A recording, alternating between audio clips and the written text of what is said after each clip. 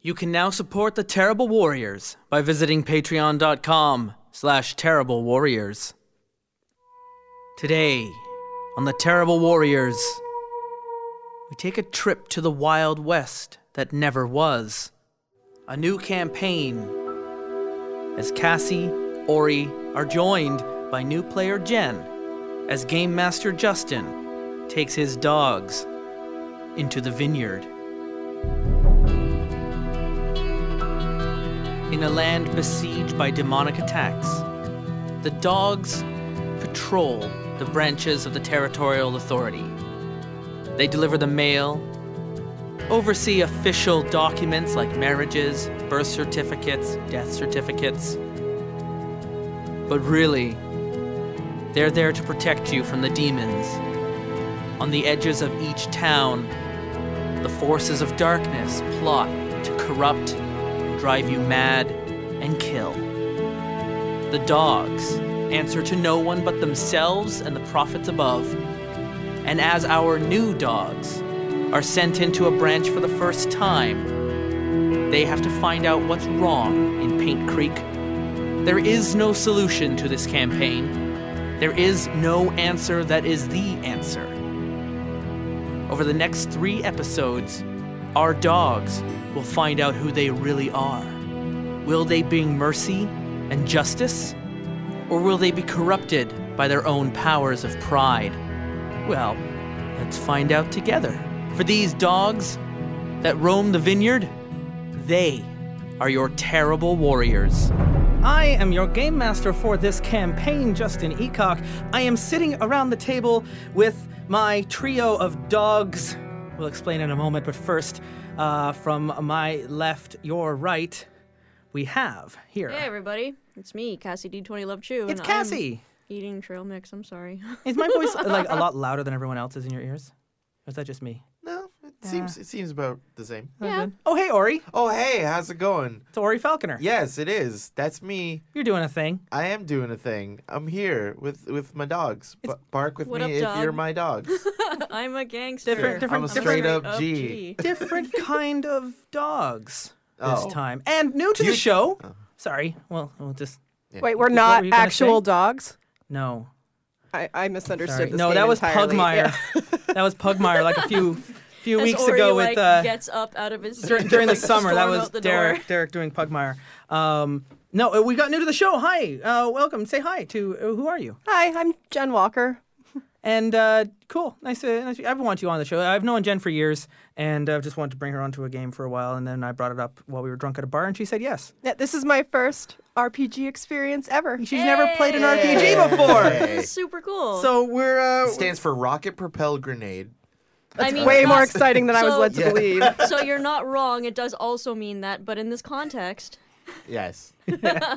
So we uh, are going to be trying an, not just a new game rule set, but also a, a different kind of of setting as well. Um, I, I, I, I've, I've specifically brought Orie to this game to help lighten the mood because I am terrified that I'm going to create a really serious.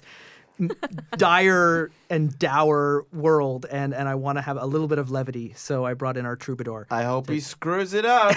don't screw it up. and the game Don't itself it the game itself is called Dogs in the Vineyard, and it was released, I think, around 2005. It's an indie game, and it's um, set in the Wild West that never was, in uh, a religious state that's formed out uh, in the west of and not defined, but let's face it, it's basically America, and it's based loosely, uh, loosely on the early uh, uh, days of Mormonism. Um, but uh, that diverts away from really the core of this game is, as the game creator put it, uh, a bunch of kids are sent into town to solve problems, and the only thing they're given to solve those problems is a book and a gun. You will be playing uh, a group of dogs, or the king's dogs, or the order of the faith put aside to preserve the faith and the faithful. Um, and uh, you play as a group of traveling judges, uh, clerics, monks. Uh, you deliver mail. You bring supplies to towns. You keep the order between the different branches of the territorial authority, which is uh, or or uh, this this area in the west that's been put aside as a place for the faithful of the King of Life to live in peace and contemplation with each other. But things don't go that simple because you have uh, uh, people who are not of the faith who come in as traders from the east. You have the the original inhabitants of the area, the mountain people who don't believe in your faith, and uh, of course, actual demons that are actually attacking you and trying to get you to commit murder all the time. Uh, the supernatural of this game is very real and very dark. And in fact, uh, as part of our character creation, we each had to come up with an accomplishment that our characters had to overcome as part of their initiation to become a dog we're not going to do that here because we spend way too long on this show doing character creation when I'm a GM. So we've skipped that. But we did record it, and I'm probably going to put it up onto our Patreon site soon. Uh, what was really cool was Orie's accomplishment got super dark, and you what, what did you like have to say, do? Like I, by the way, I'm not. I never try to make something like ridiculous beyond its its scope or something. But no, I I just had this uh, really. We had this really cool moment of me like uh, in my backstory of uh, being a dog, like having to overcome a fear of demons, Yeah. and it and it played out in a really really fun way. and it was this. It weird like um, because demons in this game and i should let you know uh, listener um, are, are a little different. They're not like from supernatural. They're uh, they're non-corporeal entities. They don't take physical form in our world so they're constantly doing things like creating plagues and famines and bad dreams. And then sometimes if they get someone to start worshiping them they can begin to possess people and they can start taking physical form through people. But they don't have names or even motivations. They're just this this force of darkness that is always trying to break in. Now, the way people in this territory are able to survive is by following the rules of the of, of, of the tree of life and the king of life. And uh, and if they follow along they get their protection. And the protection from the light prevents the demons from destroying them. Um, the rules aren't always fair and they're not always egalitarian and a lot of them are misogynistic. Uh, and yet they've been put in place because if you follow them it's been proven the demons don't attack you and they don't destroy you and they don't kill you. And so the faithful take on this uh, these practices. They don't drink uh, they don't sleep around they don't swear. Um, there is limited uh, allowances for forms of polygamy. For the most part, that's not even the case. It's all very monogamous relationships, and uh, and and it has a very patriarchal structure. And, then there's some problems with all of that, but they all follow it because when you do, the demons don't kill you. So that kind of quells any debates in this particular setting. Um, and so. Uh, when Orie was up against his demon, he wasn't face to face with a monster. He was face to face with a box that was laughing at him in his mind, that was blowing wind that you couldn't see as light around began to dim, even though he was outside, and he was accosting him with visions.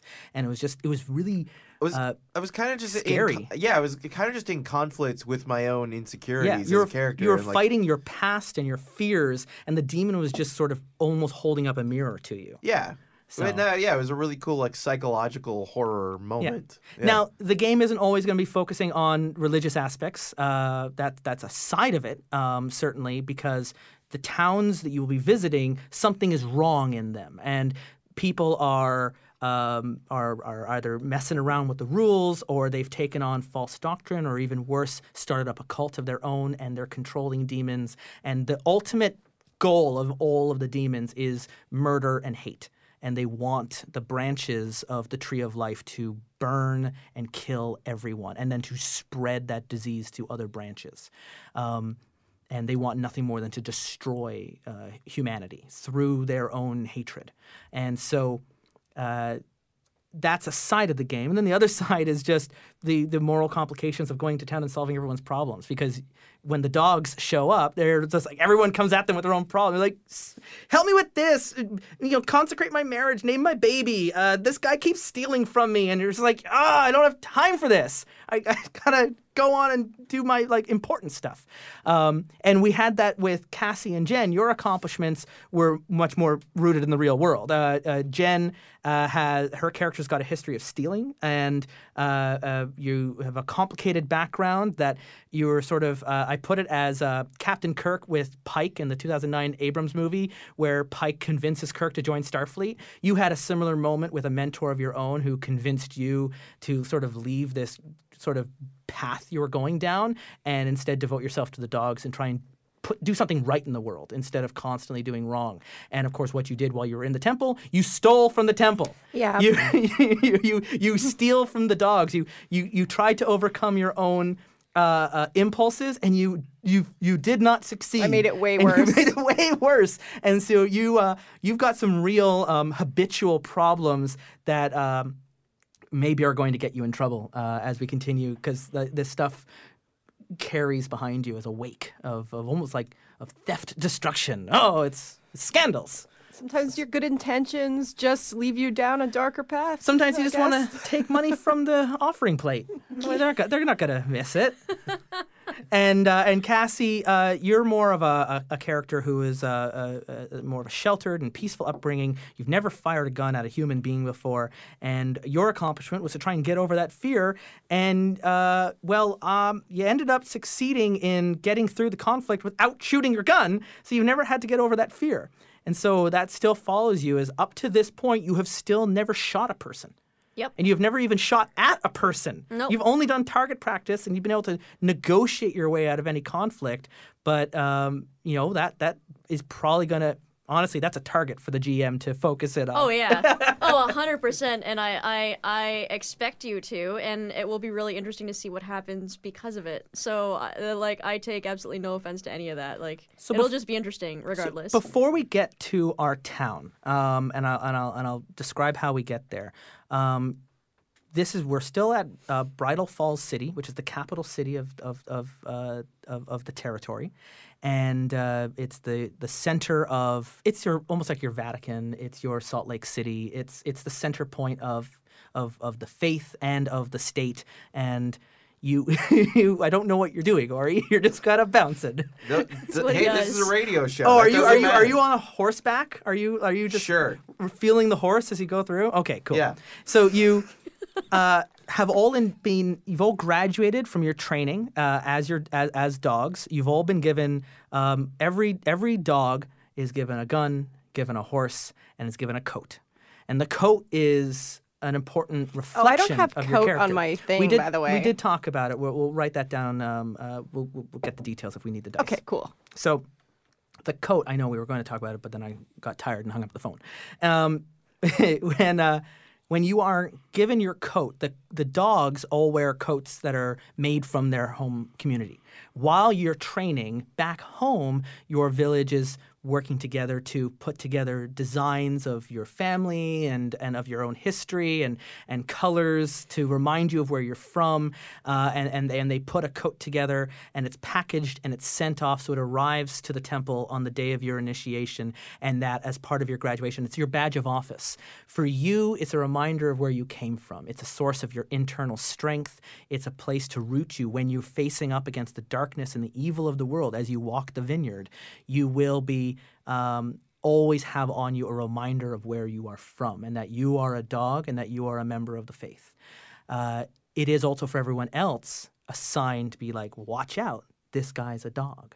And when the dogs come in with their colored, quilted coats, that can be that can induce fear and authority and respect and uh, people tend to drop their poker faces when a dog's coat walks into the room because unlike the territorial authority and the army and even the stewards of each local branch the dogs answer only to the ancients and the prophets. They don't answer to anyone else. Think like the specters from mass effect. You are uh, you're you're the Judge Dredds kind of thing. You walk in, your only authority over people is over the congregation as a whole. So you can't kick in a door and be like, "Stop beating your wife," unless it affects the entire congregation, right? You have to justify that.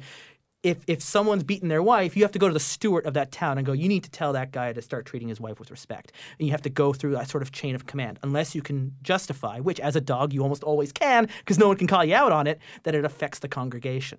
You answer only to yourself. You chose to be on this path yourself. No one recruited you, no one drafted you. In fact, no one even graduated you. You did your initiation. You have chosen that you have now completed your, uh, your, your, your training, and you have decided through your own reflection that you are ready to begin your path as a dog, and you are given your coat. What do your coats look like? Because what I described is not what the three of you are wearing, as we talked about it.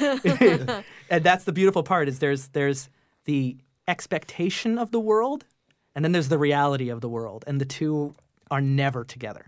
So Cassie, your coat that was sent to you on the day of your graduation, Yeah. It wasn't what I described where the whole family got together and everyone worked together to work in their stories and their colors to remind you of home. Yeah, no, not really, no. Yeah, none of that at all. Um, Your mother um, outsourced. Yeah, basically. you come from a, a, one of the more well-off-to-do families. yeah. Uh, they're they're traders. They get a lot of money from bringing goods from the east into the west, and and they and they made some money, with, especially with uh, the more more travelers that are coming into the territory now as more faithful arrive and begin setting up new branches.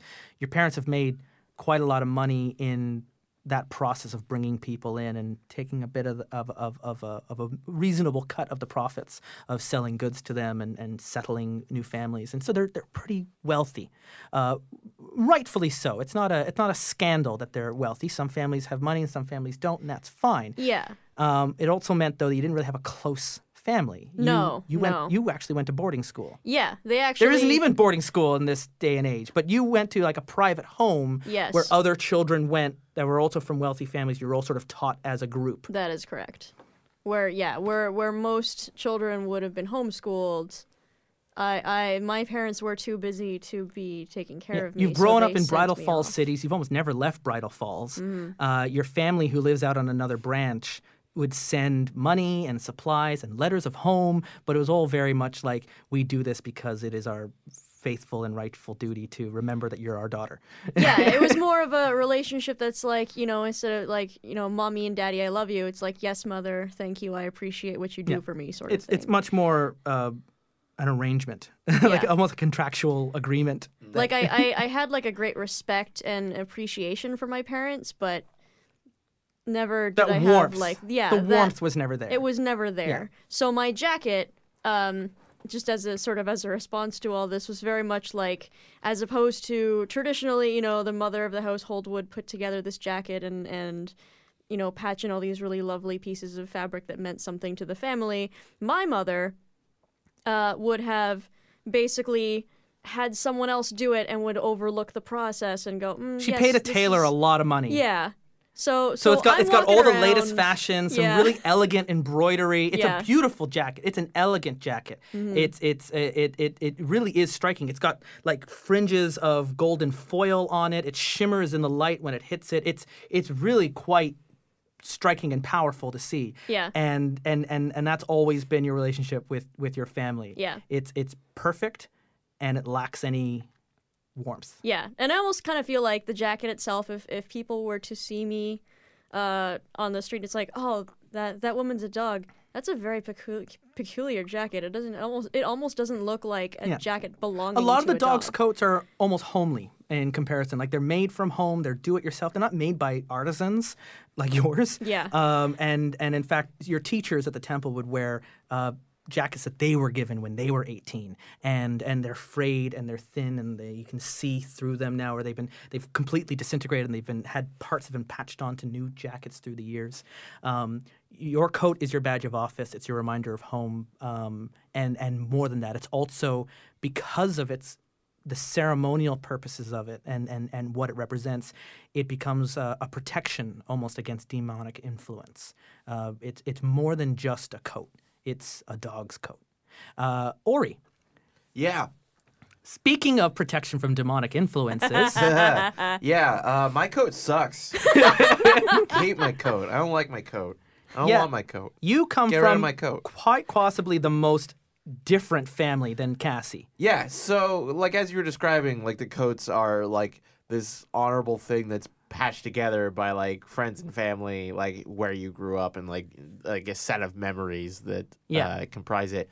All my memories are horrible because um, before I became a dog, before I was part of this, You're not from a faith. member. You're not from a family of the faith. no, You're from a family uh, of merchants from the east who were not members of the faith. They had just traveled and were living in a branch with someone else. Yeah, and uh, and on one occasion, uh, my mother was possessed by a demon and killed my dad in front of me. That was real scary. Um, I was eventually saved by uh, by the faith. The dogs came into town, another group of dogs. Um, Yeah. Which, uh, I mean, I guess we could even write down the relationship if you know who that dog is. We could add that as one of your relations. Uh, oh yeah, I never, like I which never dog, considered that. which dog actually saved you from from that darkness and pulled you out of it? Uh, 'cause- I don't. when we- Yeah, I haven't. I didn't determine that. Because when we uh, talked, it was we decided it was, uh, the dogs came into your branch, Mm-hmm. um, solved the mysteries of what was wrong in town, and found out it wasn't actually because your parents were possessed. It wasn't their fault. It was something else was going in in town of a corrupt steward.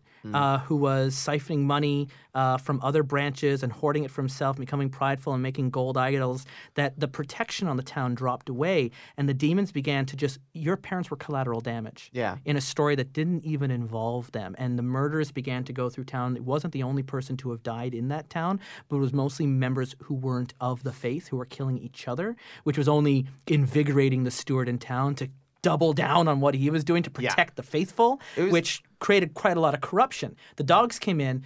Set corrections to that and were able to actually exorcise the demon from your mother, but not before uh, your father had been killed. Yeah.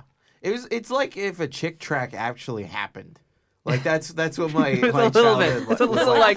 Oh, oh, that if only real. if only that guy could have stopped playing Dungeons and Dragons five minutes sooner, this unrelated person wouldn't be my dead. dad would still be Ah, alive. Yes. Yeah, uh, it's a little. but it was. But uh, yeah, so that shook me as A a, as a as a kid, and like. Uh, Now your mother still made the coat though, she still did. because when she was saved by the dogs, you and your mother uh, converted to the faith, and it was agreed that as part of her penance. Um, you would become a dog. It was almost like taking the night's watch here. Like you Yeah. left your home; it was no longer really safe or comfortable for you. Yeah, and I that mean, the like- dogs would adopt you The thing about that is like as insurance that your mother would never stray again. Yeah, and she did like she contributed to this coat that like we all have. Like that like my coat uh in particular like has And the town helped as well, but they And the helped kind of passive aggressively because they don't Here's yeah, like- but like here's the thing when you, You. watch your mom kill your dad, Yeah. like there's like a, a tension And you're that 17. really- yeah. Yeah. Like you're already in your rebellious years. Yeah. and like that just is awkward. Uh, it makes for for bad family conversations.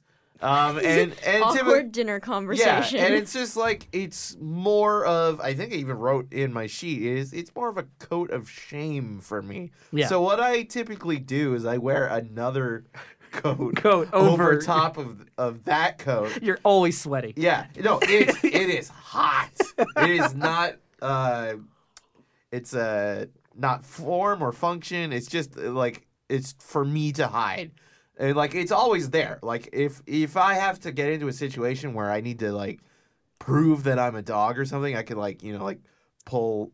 uh, The one coat Yeah. away to like reveal it Yeah. underneath, and everyone will be like, "Oh shit, a dog." but like it's not something I like to advertise, and the the memories that are like itched into it uh, aren't ones I particularly Yeah. want to remember.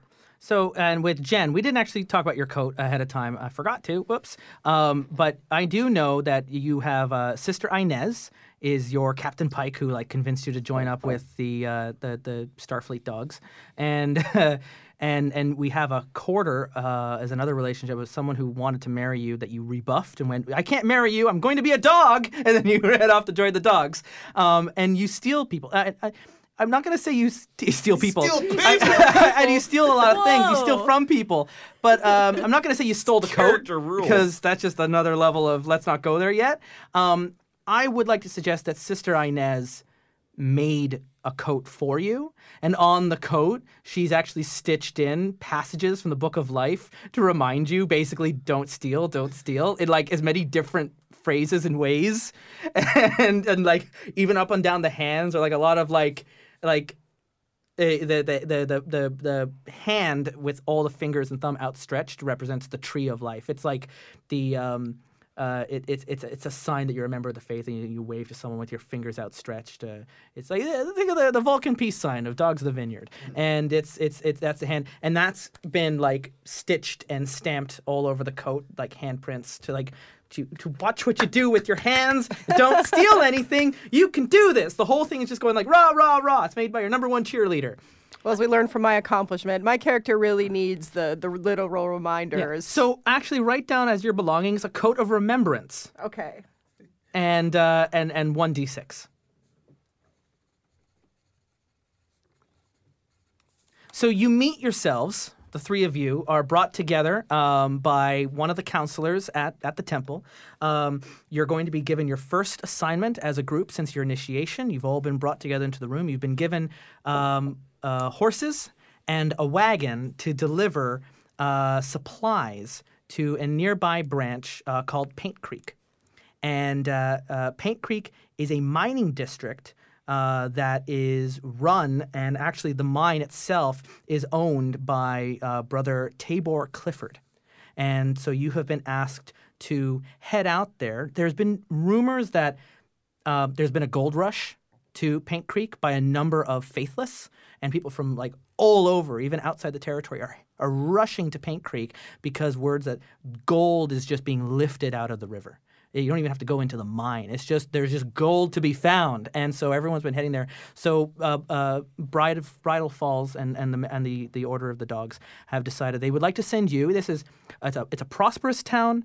It's a peaceful town. Uh, Brother Clifford is well liked by other dogs that have visited. Should be uh, a good first job uh, to go there. So you're tasked with going to town, deliver the mail, deliver supplies. There's there's uh, food and preserves and things like that, as well as uh, investigate the nature behind this gold rush and see that there isn't something more going on in town. And of course, assist. Um, however, uh, you can the, the the residents of the faith and preserve the faith and protect the town. If there is demonic influence, they are trusting the three of you to be able to know what is best for for the uh, for the for the territory. Okay. All right. All right. So uh, you you you get your gear together. You've got your uh, uh, uh, we didn't mention or you've got a pair of glasses that you have to wear whenever you read. Yeah, I I can't see a thing without Can't my see glasses. a thing without your glasses. That's actually a trait. I can't see a thing without my glasses. Yeah. Uh, and uh, Cassie, you've got um, what are some of the uh, one of the belongings you're bringing along with you? Um, uh, we wrote one of them down. I can't remember now. Uh, so we've got um my elegant book of life. Yeah, yeah. You've got oh yeah, you've got this this this like again another commissioned Bible that was sent by your mother. It's not even like a family heirloom. Um, yeah. Oh my goodness, you're such a one percenter. And uh, and Jenn, you've got on you. You've got actually got a compass that was given to you by this man who wants to marry you. And what was his name? Uh, the Brother Bogart. Brother Bogart. And uh, um, and and Orie, as you're getting your horse together, you actually see your friend Garth. Uh, that you all train together. Uh, you you mentioned I has a barely relation. see him, but yes. Uh, he's he's up with uh, uh, uh, his group of dogs, and they're heading to another branch. Um, uh, they've been told uh, that it's a place called um, uh, Lemon Fort, and they're heading to Lemon Fort. And uh, what? I I'm sorry. I'm, get- I'm just getting like a Just getting a mental image. You just like lemon fort, and it's just like it's a literal fort made of like lemon like coffee cake. I really hope we go to Lemon Fort now, just so I can shatter all of Cassie's dreams. all, Um, all of these It things just like sounds like a level from like a Kirby game. like that and Paint Creek. Like I, I'm hoping everywhere we go has a very literal name. like, like, what's wrong with the creek? It's made out of paint. We can't drink paint. You'd think that'd make it harder to find the gold in the creek. Yeah. So it's, everything's just painted gold. all right, Um, listen. So you've got your you've got a wagon load of Sorry.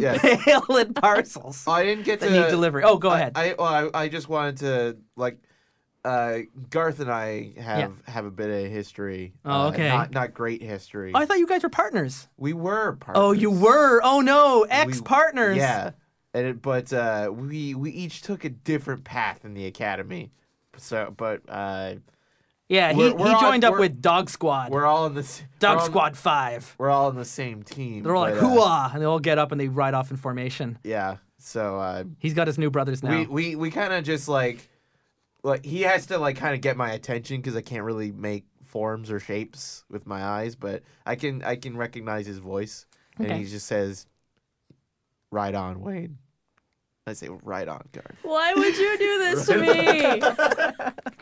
Why? this is why I brought Orie, so the, the game will never get too serious. That was a serious moment. okay, so None of nothing about that was was comical. As you get- I was just that's his name. That's my name. that's so you guys Wayne arrive. Sanders. So you arrive at your wagon, and you see that the wagon is mostly orders for brother Tabor Clifford, like personal orders that he's put in. Uh, uh, he sent money down to Bridal Falls. This is one of the reasons what's triggered you being sent to deliver it back, not just any other mailman.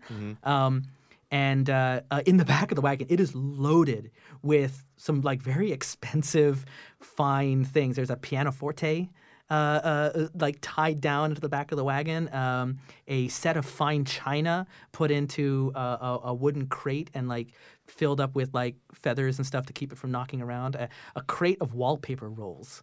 Uh, wallpaper in the frontier, uh, books, uh, uh, an indoor toilet, uh, like, the- like really something else. Uh, there's and then of- and then of course then there's also mining equipment and other um, uh, uh, random selections of stuff that other members of the branch have put in. But the the big items there are all to be delivered to Brother Ta- uh, Clifford. So just a collection of opulence. Yeah, Yeah. yeah, yeah. Yeah, So he's Cli- not even so, not even being so wait, subtle. so just just to confirm, Clifford is not a dog. No, Clifford, uh, Tabor Clifford is the steward of Paint Creek and the owner of the mine. God damn it! You're no, that's I was just cl- clarifying. Were you? Were you? now? I was. Just did you? you I'm assuming you But didn't he's- but catch he's like that. a- I can hear the plane flying over my head right now. Can- But he's like, but he's it, are all of these are his belongings? Like these Uh, are the the fine sent to china, the wallpaper, the roll books, indoor toilet. Yeah, they're all. So so he's he's pretty big in this yeah, town. He's he's he's he's easily the richest man in town. I mean, Yeah. he owns the mine, and there's a gold rush coming to town. Yeah. So he's he's doing well, and it, he's not hiding it. yeah. Um, These things are all things that like my character, like El- Elise, is very used to seeing these sorts of things. It's like, oh, okay, yeah, this guy's, you know, he's he's got his stuff. Cool. I'm hoping if he likes us enough, maybe he'll let me have a go at that indoor toilet. yeah. I like you. He'll- got, he'll be you red got in your the face then, priorities yeah. straight. I like it. so you're, you're you're heading down the road. Uh, How do these dang things work? you want to want me to move on to the next? Yes. yes, go ahead. Yes, sorry. sorry. Yeah. So uh, a few days travel uh, as as you head out to Paint Creek, uh, and you're you're you're heading down um, uh, through uh, uh, through a trail. As uh, you see uh, up on the road, uh, you're now a little bit out of the ways of the of the town limits of the branch limits, and you see uh, two horses uh, tied up at the side of the road. Um, and uh, their owners uh, don't seem to be around, but the, the horses are, are, are tied up and they're staying at the side of the road. And as the uh, wagon begins to go past, you hear um, what sounds like uh, heavy rustling uh, in the bushes just outside, um, and and you hear uh, someone cry out just out into the tree line. Into the tree line. like uh, like just past the tree line, like it's out Yeah. of your sight. It's in the trees. Right. You hear like a ah. Okay. I, uh, sounds like something worth investigating.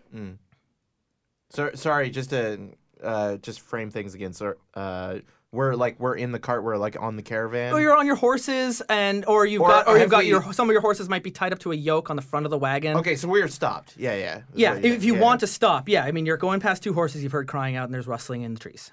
Oh, yeah. That sounds like something to investigate. Okay.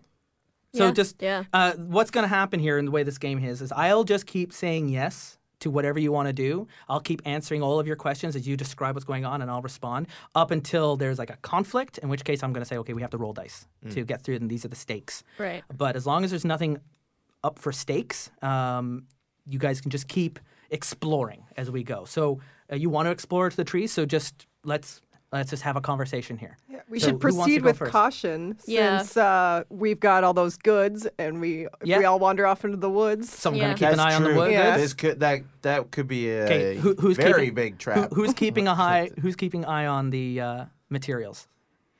This is a good question. It should probably be one of us since we're you're anti-gun, yeah. I, I can't keep an eye on on right? Because you don't have eyes. So I guess I should be the eyes. Yeah. Okay, so the I kleptomaniac is going to be So left leave behind. ones with gonna be the left with the goods. All right. And uh, oh, we didn't mention everyone's names. We have Jenn is playing uh, Sister Hester, Yes. and uh, uh, you, Orie, are playing Brother Wayne, Yes. and uh, Cassie is uh, Sister Elise. That's correct. Okay, so Elise and Wayne, uh, you head into the trees. Yes. Uh, okay, as you start uh, heading in, you um, uh, as you're going through the bushes, you actually find uh, a shoe uh, discarded uh, in, in, in off into the bush. It's been run aside, and and you can actually see like. It, you don't even need to be a tracker to see the, the, the, the bushes that have been pushed aside and, and the, the the the weight of a person that has gone through and, and you know you know like when you see someone Yeah. going through tall grass and it's all been pushed aside. I can kind of like Yeah. I can feel the like the trees Yeah. parting, Yeah, like and- the, the stuff parting away. and you, and you can hear the uh, you can hear the the crying out is uh, coming just around the tree. hmm. I'm gonna The whole tree rocks. yeah. I gonna look to uh to you. Yep. Uh, this looks, this looks serious. Mm. Um. Yeah. Let's keep going. I'm gonna get my hand ready You get your hand towards on the, your on the your, holster Okay. of, of my gun all right. and uh, and kind of just Push push some of Well- the bushes aside to see what's around the tree. yeah and just like well just have my hand out because like I can't I literally can't see like five feet in front of me like yeah, I think you need to like take Okay, point, okay, okay. Your but, like- nearsightedness Yes. is not like you're not le- you're like you're you're not. Uh, Forgive me, Steve. You're not Steve blind. right Uh, you're, No, I'm- well, you, it's you- because of you don't have 2200 vision if you're not wearing your glasses. All right, glasses. fine, I won't- Because you wouldn't have made it to 17 in this world with that kind of vision uh, as a dog. Uh, you you have enough vision to get through day to day life. What you can't do with Well, your nearsightedness is read. Without your glasses, uh, certainly read maps or see any details up close. And um, uh, but your nearsightedness doesn't affect like range shooting. Um, it's just when things are up close, closer like where you are and I, five feet away from each other. Yeah. You start having problems with details. Yeah, yeah, yeah. But you can still walk through trees. Like you're not like with your eyes closed, feeling yes around. I understand Okay. yes Just wanted I to got, correct I got that Just wanted yeah. to. Sorry, didn't mean to smack you down there. As you were. right so we're walking we're, we're walking forward yes Okay. all right We're walking. We're Okay. walking. So as you as you go through, so so the the, the, the noise is just around the, the corner of this tree. Uh, who want? Are you are you reaching around the tree? Are you walking around? Or do- is your gun out? Like how are you? My gun- my how are you going to go out, around this blind spot? I'm not it's not out I'm just Okay. like I'm I'm at the ready like right. I'm Who's gonna go first? Who's going ready around for the like a quick spot? draw but but there's nothing um, I'll take point. sure Um, I'll, I'll cover the the flank I guess so it, it it seems as if they've kind of peeled off like around the corner. Yeah, and in fact, you see another shoe. Uh, uh, often to this is a, a different shoe. It's uh, this one's a a, a boot, uh, probably for for uh, an, an adult male uh, that's been thrown off into into the bushes, The hell. Okay. and the Uh, tree uh, uh, bangs again. Okay, so I kind of take cover sort of behind the tree and peek around the corner and see what, what it is I can see? Just as Elise peeks around the corner, uh, you see um, a man with his breeches at his ankles uh, having sex with a woman up against the tree, and she's crying out. She looks to be in her early 20s. All right. Yeah. This It- is not. This is not. This is not freaking cool. As soon as you This peek your head cool. around, she makes eye contact with you Mm-hmm. And screams and then starts laughing. And the guy sees what's going on and he starts laughing. They don't stop. What the hell? Is this illegal? That's happening right now. It's out in the bushes. It's just, there's just two two people, two people just- just two people going at it. Two people going at it out in the bushes. Oh, that's less sinister, but uh, infidelitis, I guess, t- uh, towards our creed. Uh, the uh, the the man uh, he starts laughing and uh, he pulls himself out and pulls up his breeches and, okay. and he's like, "Nothing to see here, dog. Nothing to see here at all. Please just be on your business. We're just having a good time without you." Uh huh. Okay. I mean, at this point, Elise is just kind of like shocked and unsure of what. What? She Okay, she she's so- laughing Yeah. into the tree and she goes, "It's I was just walking down the road and he taps at a tin star on his on his vest." and he goes, uh, "Local peace officer, and I just uh, saw this woman was in need of some assistance, and uh, oh, we uh, oh, we're just having a little interrogation here. It's fine." That's not what that looked like. and and, uh, and That is very not what it looked like. the woman is is getting herself together and. Uh, have you seen my shoe? Oh, we did actually. Keeps laughing. We did- Absolutely we have do a seen your shoe. I go, wait, can you point me in the direction, please? I don't know. We didn't pick it up, but it's it's back that way. she laughs and she kind of starts Yeah. to skip off. At this point, I think I yell into the trees. What's she, taking she you guys yells so out, long? I'll see you later, kid. okay. Uh. okay. You're clearly new around these parts. Of course, most of you dogs don't stick around long to get to know the locals. Uh. Okay. Wait. Uh. Just, I'm all just about getting to know the locals. that. Okay. Okay, dude. Just keep your freaking pants on. yeah, Gross. keep, keep your keep your shoes on. You, you friggin'. He, So he you're so wait, hang so on, wait, hang on. so you're So out of out of out of out of game, out of character here. What I was, I was understanding that the like. So she cried out. It was not the kind of crying out that No. I was. no, Okay, misinterpreted the cry. misinterpreted the cry. Cries a pleasure. yeah I switched. see. hitting that tree real hard. Hitting that tree real hard. Re- uh, was God. it? Did it seem out of place hard? Um, Because it was like shaking. it was the shaking forest, back and forth, it? boom, boom, boom, boom, with a with a How rhythm. big is this tree? Like, let me get the logistics of it for a second. It's not too hard to shake a big tree. I guess, but like uh, But enough like, to hard enough do to you have shake to freaking other like trees. what? It's just a matter of like getting the rhythm going, and then once it starts shaking a little bit, Is it this starts to from shake personal That experience? seems suspect, but okay. This, Uh, this seems highly It suspect, also but okay. it was also the it was I was setting you guys up. Yes, Yeah, oh yeah, I was setting you guys up for an awkward situation. right. No, uh, good. That- I it- enjoyed it's it called greatly. The setup. Right. Thank good. Thank you. Good. So, so I'm gonna. I guess I'm gonna start talking to this. He makes some insult about how like, you know, a bunch of you dogs would never understand since none of you've ever had sex anyways. Which is an insult that falls flat on since you've taken vows of celibacy anyways. Uh, it, that that are, like so, it's uh, he he he uh, he he shows no respect at all Yeah. for either of the two of you who have your coats. Even though your coat is covered up, you can still see the trim, Yeah. and uh, it's obvious that the two of you are dogs, and it's obvious that he doesn't give a crap. Yeah. He's a peace officer, you see. Uh huh. Name's Peace Tabor. Clifford. What's your? Oh, oh, he's Clifford. No, You're, his you're name Clifford. is uh oh no no sorry no he's he's on the payroll of Tabor Clifford. His name is uh I'm sorry name's Duncan Hathaway. Name's Duncan Hathaway, but folks around here call me the Salt Lick Kid. well, Cool. I will call you by your regular name and not by your dumb nickname. yeah, I don't. we will definitely be not referring to you by your stupid made-up nickname that no one probably calls you. you. That's what I actually said to him gives too. himself, and Something- it's not, not Yeah. something that Just actually People people call me the Dougler. It's like no, they sister, like don't. nobody sister calls you the Hardass Douglas. and uh, brother can't take a joke. Oh, I got a joke, but I don't think you'd like it. It's too sophisticated for you. Hey, if you got problems with the way I conduct business around here, you can take it up with Tabor Clifford. I'm on his payroll. Uh, if you'll excuse me, I've I gotta got to do some more uh, uh, patrolling, if you know what I mean. And he he grabs his boot that was over by the side and he butts it up onto his leg and. Uh, Mm-hmm. So I, I hope you've been looking after my horses over there. Oh, all right. I'll see you two around. You patrolling without your horses?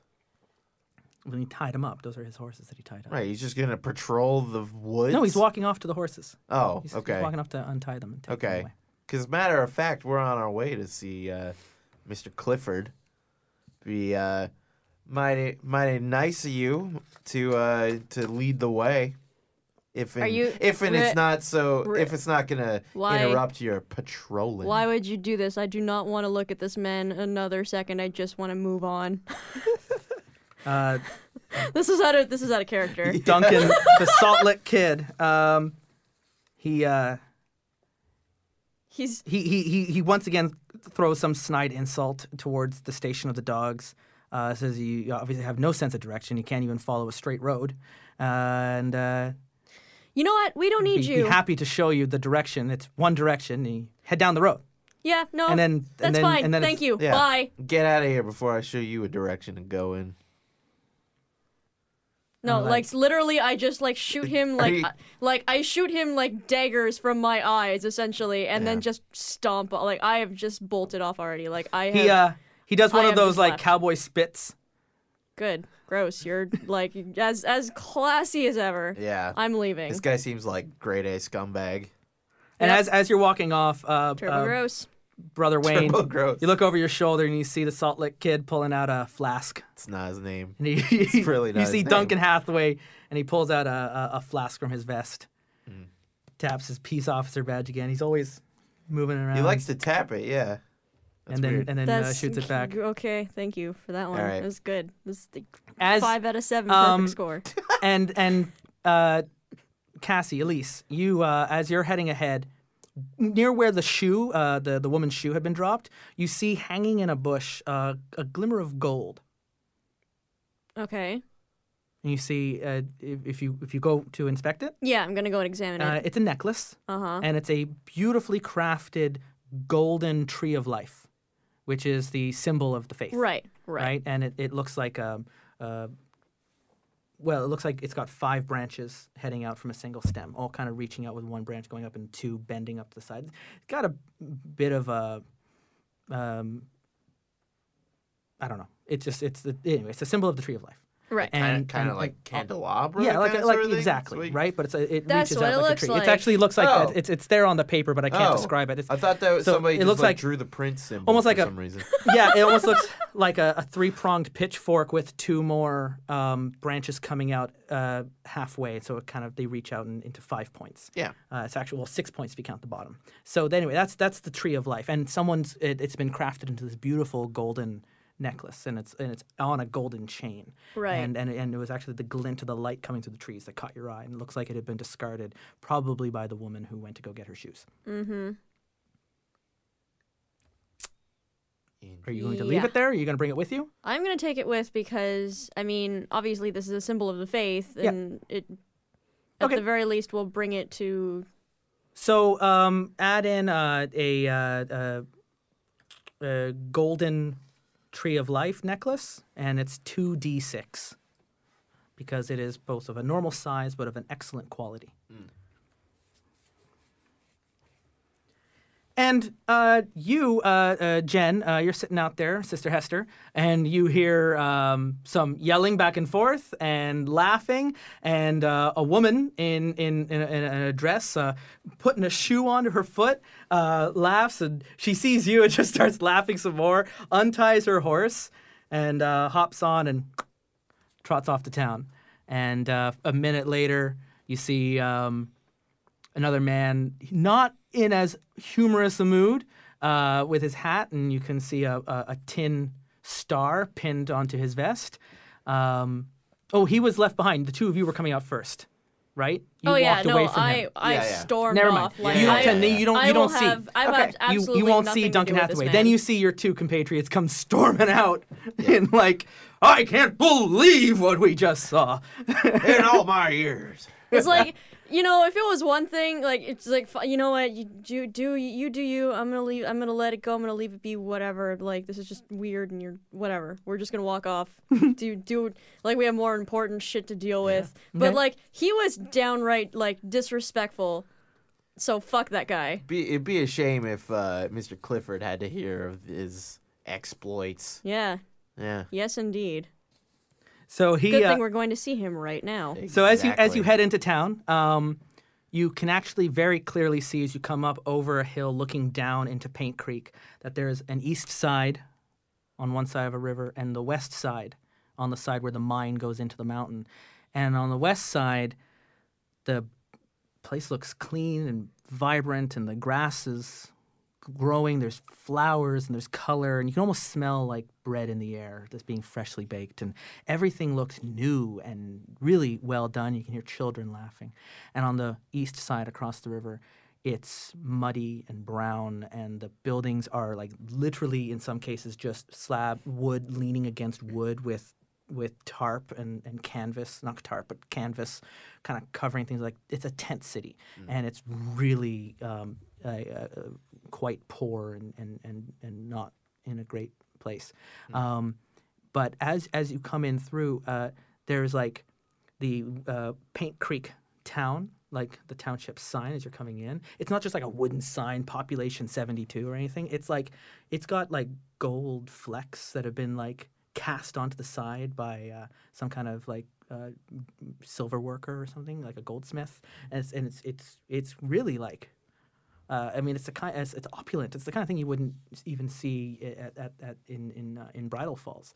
Um, and then you come back and you come down lower into town, and it's uh, uh, you can see there's a lot of people are dressed up to prospectors who who are you know out in the river and they're sifting and they're trying to find uh, some of the gold, and um, uh, and and as you're coming through, you you come down towards the river, and there's a crowd that's gathered around, and there's some you know older men and beards and stuff, and they're trying to and they're, find, they're not finding anything, and they're getting angry, and some people are storming off because they've shown up again and they just haven't found anything, and uh, and you see uh, another crowd. Uh, cheers coming out and, uh, and and and a man comes out of the crowd and he's got like a bucket of gold that they've pulled out of the of the river, and people are cheering and they're like you know patting him and, and his and his men are around him and and and they're and they're heading it up to town to. Uh, to, to you know weigh it and, and stuff and there's like a crowd and, and, and, and he passes the bucket to one of his his like co-workers and he's like signing papers for people and, and everyone's kind of like around him and um, and and and yeah, and it's uh, uh, you, you you hear one of the prospectors who, who just gave up like I can't believe it again. They find them again. There's nothing in this river. I don't understand it. And he throws his uh, his his his equipment into the mud and just storms off in the direction of a bar.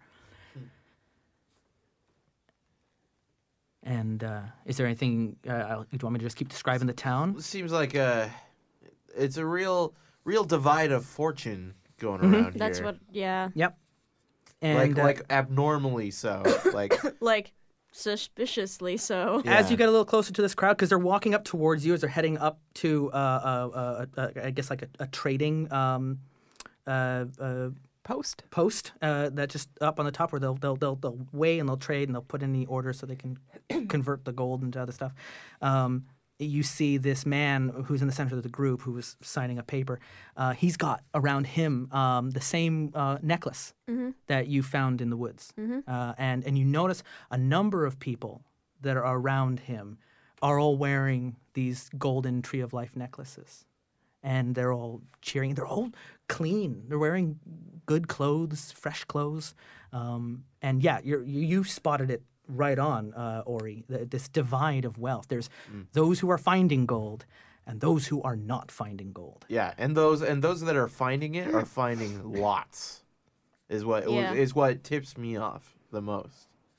And Like- you Yeah, it's it's just it's just not there's no there's no trickle down at all. It's it's really just the it seems like this one group of people is getting everything somehow. Oh Yeah. yeah.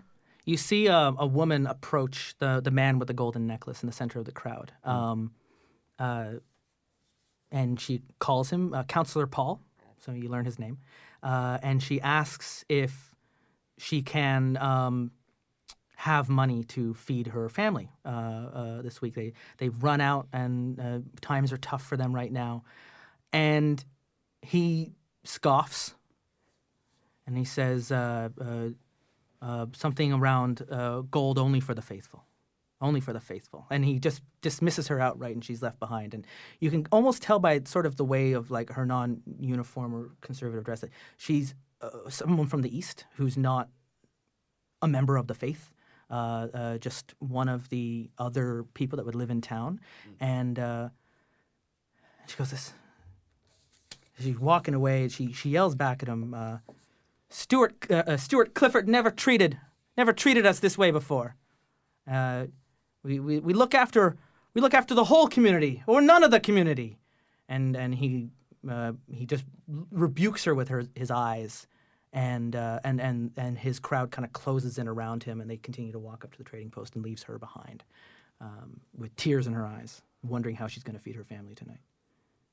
So, do we want to ask that woman what happened with uh, Clifford?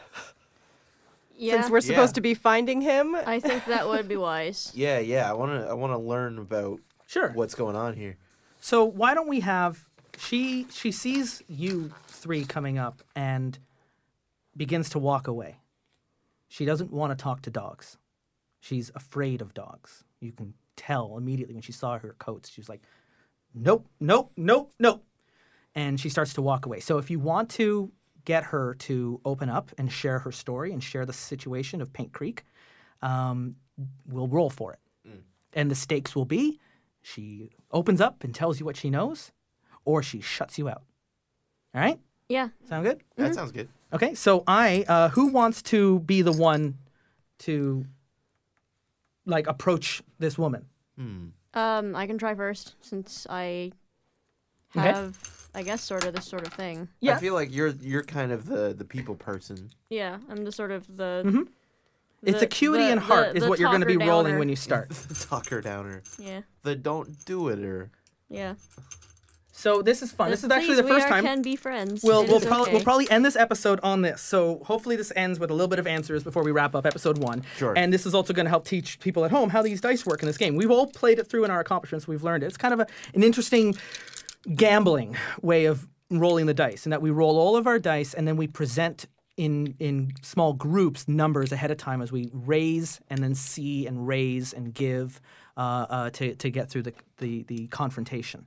Uh, so uh, this woman, whose name you don't know, uh, is uh, walking away from you, and she just she doesn't she doesn't want the kind of help you're bringing. Is what she says. Right. Okay. Uh, so this is acuity and heart, right? Yeah. Okay. So that's going to be uh, eight d6 for me. Let just Okay, those. so you can grab eight six-sided die. We're just keeping them in a pool in the center because there's just a lot of dice go back and forth in this. Yeah. But unlike other games, well, Cassie's picking them out. We don't add the dice together. We roll the dice as a group, and that's now my pool of dice. And I'm going to arrange them in the order of the dice. Uh, uh, so I have a, a six, a five, five, four. Uh, a number of twos, another six, and a two. It's actually a pretty nice spread of dice. But I don't add them together. What's going to happen is Cassie, because she's trying to get my NPC's attention, uh, to get her uh, to to stop and open up and tell us what's going on. Um, and so you're going to raise with like, hold on now, right? How Yeah. what how much do you want to present forward in your raise? So you rolled a one, two, three, three, five, five, another six, and a six. Yeah. So those are the dice you've got going out. So that's what I've got, We yeah. can use traits and relationships and some of the equipment you have. We can add to that total pool of dice. And what that does is it opens up more options and your ability to stay in the conflict longer and to um, uh, manipulate back and forth. And we'll, we'll, we'll explain as we go. So, Cassie, what are you raising with? What's your first? You raise with two dice. Yeah. Okay. Um. So first, what I think I would like to do maybe is I'd like to use my trait can calm calm down a room for an extra one d10. Okay, great. So here's a D10 and give that a roll. Okay. You're going to add that to your pool of dice. And that's a two. And it's only a two, but that's But- fine. It just it still increases your total number of dice. that still gets added to my pool. So I've got another extra two here now. Okay. Okay. Um. So I'm going to uh start by raising uh eight. Okay. Yeah. And and then and now describe what you're doing. Now that you've given the raise, what are you doing so that I can respond to that? Right. Uh. Please, we we mean no harm. We're just here to help. Uh. Is please, is there anything Some- that you can tell yeah. us? Because you can tell something's wrong. Yeah. Um, she sees your eight, and I'm actually uh, I'm gonna see you with a nine. She blocks and dodges, and she goes, you know, we we had we had your community helping us out before. Now you've all turned your back on us. I don't want the kind of help you're bringing. All you're gonna bring is more ruin. I have to feed my children. So she's blocked that move Right. and I've spent my dice, so I put that away, and um, and you can you can get rid of your dice; they're no longer in Yeah. there, so you get discard them. And now it's my turn to raise, and she begins to quicken her pace. She's going to uh, get a little faster. So because she's not talking to you, she's actually walking away. I'm going to escalate this to physical, which is going to be um, four more that I'm going to roll for my body stat. You're going to get to roll body as well because she's escalated this. You're going to have to like actually chase after her now as she's starting to walk a little bit faster away to the east side, to cross the river into the into the um, shanty town. Whoa, that was like all sixes. So Ah, she does. She just starts to like make a scene and starts walking away, and um, you can't help me, she says, and that's a twelve. Jeez.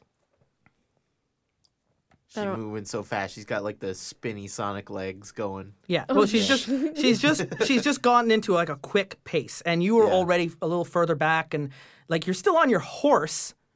Um, but again, this is like up to you here, Cassie. You can continue to push it, and you can like run her down with the horse and block her off, or you can just like she doesn't want to talk to me. We're gonna have to talk to someone else. You can give, and if you give, you can actually hold that number six, the highest dice you've got. You can carry it over to the next confrontation. Right. You okay. don't have to like win or lose. I just happen to roll some very high numbers, uh, which I think I've like. If you want to just keep things talking, she doesn't. She's walking away, and I've got a. I'm just saying. I mean, I've got three more sixes and another five. Uh, so I've got some really good dice here that I've just rolled as she's now taking things. She just doesn't want to talk. Yeah. Okay. Well, yeah. It seems like. she doesn't believe that you can help her. based on your dice, I don't know that there's actually much more that I can do here. And if you knew her name, you could use like your abilities as the dog to call out her true name, Mm-hmm. and that would compel her to stop That affects and to turn. that it affects people it as well? affects righteous souls as well, but only if you know their full true name. Huh. So Okay. so that's you know it's it it, it, it it can be done. Although Yeah. if there's any kind of corrupting influence, it doesn't always work. You might end up you know calling on the demonic influence. But- Right, right.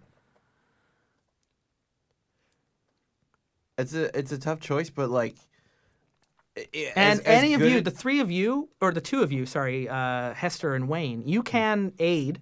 You can get in on this. You can roll in as well. Hmm. And if you roll your dice, you can even spend your dice into Elise. And the three of you, as a group of three as well, you have a lot more authority. If you really want her to stop and you really like explain to us what you were doing, why were you accosting the counselor of this town? Can we use things we have to help out? You can use whatever you want that you can justify in the moment. Okay, because I have some ill-gotten gains, and since this woman has money, maybe we or wants money to feed her family, maybe we could persuade her. Yeah, yeah. So you want to offer her Yeah. like Yeah. maybe That's we a good idea. we, yeah. we, That's a very we'll good give you idea. money for food. Okay, yeah. Great. So roll your dice into it. So I would get ill-gotten gains. Ill-gotten gains one 1d8. d8 plus. Um, uh, although uh, you're entering in, you didn't roll the dice with everyone else uh, when Cassie started. So I think the rules are a little bit different. Okay. So instead, you're going to give Cassie the I give one this d8. one. that makes sense. And You're, well, Cassie's gonna adding roll it the to dice. her. If we were all starting together, there's different rules for how the raises you can each raise as we go. But this was clearly like Cassie was going forward, and then Hester's offered this up. So it's a 12. You can take the blow, which is, means you spend three dice, but you can might still be able to like get her attention. You do have two sixes, so you can meet that with a dodge and block. Yeah. But then from there, it's sort of like Well, it doesn't you matter. have you have more sixes to go. yeah, but I've, I've spent I spent those two sixes. They're gonna be gone, yeah. right? Okay. And then and then we can we can just we can keep like you just. Do you All want right. to end it, or do you want to just see keep it Yeah. going a little bit further? Let's keep going. All right. So I'm going to meet your 12 with my 12 then. Okay. It's like if if it's help with feeding your family that you need, we have that. We can help you. Okay. And I hold out. And now raise. Okay, so I am going to raise nine. So it's a four and a five. Four and a five. Yeah. So the four and a five, um, she's going to. I want to match that. I want to dodge and block. She doesn't trust you, but she stops. She's going to take a blow, um, which is going to. Uh, she sees the bag. She goes like, you know, even though this might hurt my family, even though like I've trusted you people before, how do I know I can trust you now? I, I might accept help and it'll just be snatched away from me again. Hmm. And she, she puts her hand out, Right. you know, to give me give, gi- you know give it give it over to me. Okay. So I mean, I hand it over to her. Okay, and these were the dice you used. Yeah. Okay, so she takes that Mm. and she uh, looks at the bag and she's going to give. So Okay. I'm going to give you this six, All right. which is an available dice that you're going to be able to use in the next confrontation. Nice. And she looks at the bag, and the wind is going out of her sails. Even though she rolled a lot, she's got a lot of determination to look after her family. Um, she goes like, "I don't want to get in trouble. I don't want to say anything. Thank you. You should just go speak to the steward. Um. Okay. We. Uh, is uh, Is he the one Tabor that Clifford. was- He's the richest man in town that you're delivering the goods for. oh yes. Okay. You should talk to Steward Clifford." Okay. Uh. Do you know where we can find him? She points up to the biggest house in town. I should have known. and it is like it's like it's like a chalet. Oh my. It's like the finest of timber work. It's a several story or it's two stories tall with a big open balcony and like a stone steps going down into a garden and pillars and it's just like wow. It's opulent, Yeah. all things considered. Like it's almost as big as the town hall. Yeah. And Okay. uh, so as uh, you walk up to the hill, because we're just going to wrap the story up. I'm just going to leave you on a moment here to be like, what? As you go up, Steward Clifford comes out the doors in a, in a nice, but like respectable, not over the top um, dress uh, robe, uh, uh, as you know, do his office as Steward, and his hands clap together. Oh, my parcels have arrived!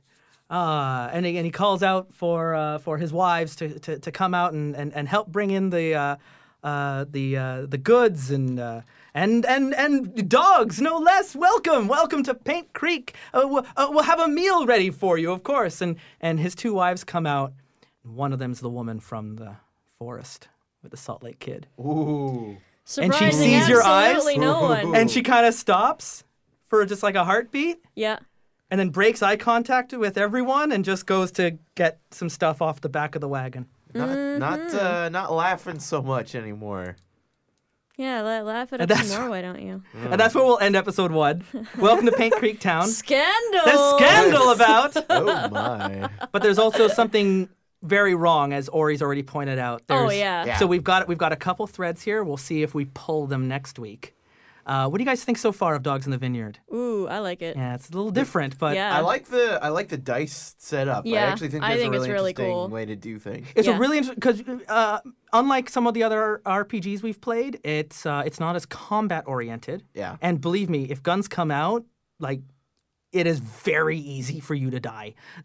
like it, it, it doesn't take a lot. Well, oh, 'cause Okay. You should be thinking like a less like- western too. Like like if a gun comes out, bodies drop quickly. yeah. Yeah. And it's all about trying to de-escalate. And and I don't think we've ever played a game that accentuates that like attitude of de-escalation, right? What I what I like about this, like just really quick, is that like in other systems, like it's a, more about the effectiveness of what you're trying to do. Yeah. Whereas here, it's really you are faced with the imminent threat that everything you're like you are like what you're trying to do is going to either be like stopped or reversed. Like Yeah. you are you are faced with the reality of failure so Yeah. so readily. Back and So, forth, back yeah. and forth every turn. Yeah. Um, yeah, no, and I like it. And it also means as a GM, it's very rare that I'm ever in a place where I can cheat on you. Sure. Like I, I don't have to throw my punches.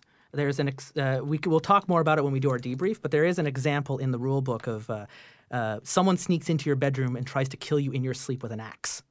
Now, if that was Dungeons and Dragons, that would essentially be cheating because there would be no defense you would be able to have to an, a, an armed enemy walking in while you're sleeping. That's a coup de grace. It's a one hit kill, and you're done. There's nothing you can do about it. But in Dogs in the Vineyard, you still roll your dice, and you can still raise like I roll in my bed at just the right moment, or I have a bad dream that wakes me up, or or a bird hits the window, or something like you can like maybe the king of life, you know, did something to help awaken you in time, or you actually take the fall and get hit with the axe, but now you're able to keep fighting.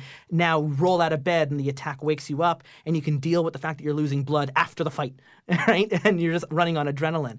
And and and you, I don't know any other games other than um, straight up story games like Monster Hearts, like Powered by Apocalypse, that would allow you to do that, but still allow me to just keep rolling relentlessly against you.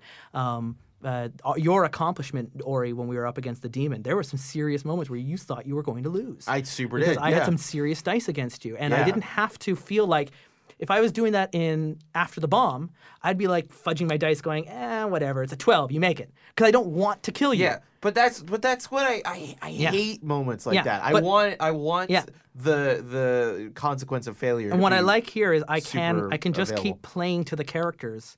And I had the dice to beat you there, Cassie, with Yeah. the, with with the food. Oh, yeah, but absolutely. also like, what's gonna gain? What's at stake for her? She doesn't want her. She wants the money. Yeah, Yeah. Like that's it. absolutely. That's Yeah. what she asked for in the first place. She doesn't want to Yeah. talk to you, but She she has to like. Her, and in fact, her- if you think by giving her the money, you gave up that item, you can cross it off, and you lost. You gave up the, the the confrontation. You didn't get information from her. The Yeah. stakes were she opens up. She didn't open up. She took the money and said, "Go talk to the steward." yeah, So which I, we would have done anyway. And like I won, Yeah, but you still were able to advance. Ah, I love that. Anyways, yeah. it's I'm rambling. It's super cool. I like it. Uh, thanks for joining us here on our first episode of Dogs of the Vineyard. We will return. Uh, don't know how many we're going to be able to pack in because we went a little late on our recording sessions, but it's it's it's I, this is this is really cool. Join us again next time where we will return to Paint Creek Branch to find out what is wrong and uh, and if our dogs have what it takes to help set things right.